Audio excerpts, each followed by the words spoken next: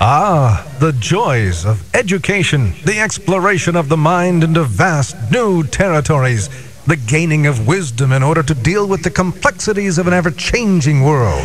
He uses big, funny words. Unless, of course, you're in Miss Dumpler's class.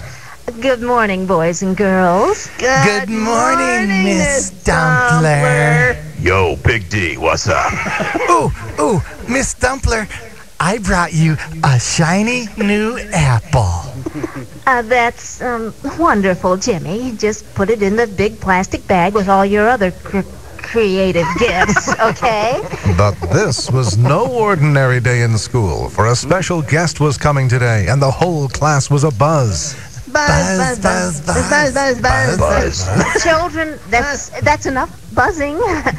I want you to welcome a very special guest today. This is Mr. Bottomliner. Greeting, future investors. Futures investors? What do I look like, a senator? Joey. now, Mr. Bottomliner is going to teach us all about economics. Eco who's it? Economics, the laws that govern our fiscal strategies of global marketing. Huh? The study of accumulating wealth based on the trading of commodities through the study of reliable indicators. Huh? Making money. Oh. It seems that Mr. Bottomliner's first attempt at teaching small children, as Miss Dumpler gently reminded him, Uh, listen, Panliner, um, That's the bottom liner. Nah, Mom. uh, uh, uh, whatever. Uh, just, just try to keep it simple. They're only first graders. This is just their second year of school, uh, except for Bobby. The big kid with facial hair. Yes, that's him. Yo, Greenspan. Is that your beamer outside? Why, yes, yes, it is. Well, move it or lose it. You're in my parking spot. ooh, Ooh, ooh, Miss Dumpler, I did a beamer this morning. Not, not now, Jimmy. and with that, Mr. Bottomliner began his lesson.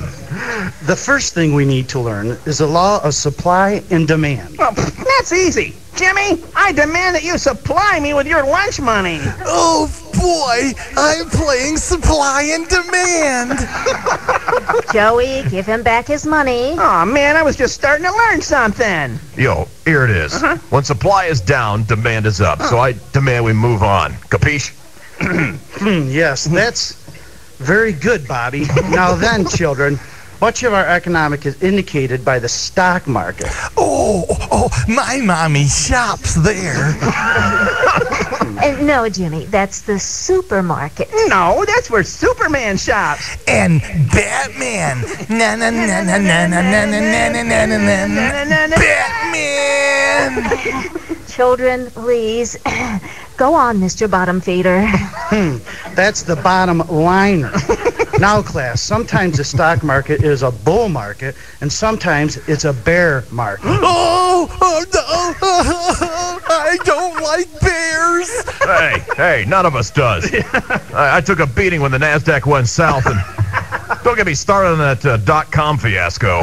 My, my, that's very impressive, Bobby. Yeah. that's nothing. You ought to see what he can do with junk bonds and pork bellies. Oh, my, my daddy can make a pork belly. it's really funny. And suddenly, Mr. Bottom Dollar, That's a bottom liner. whatever, he suddenly realized that Bobby was not your average first grader. Seems like the facial hair would have given it away. Why, Bobby, you almost sound like you're a real grown-up investor. Well, you know what they say. It's never too late to start planning your retirement. I hate to get stuck with a messy pension like uh, Miss Dumpler's.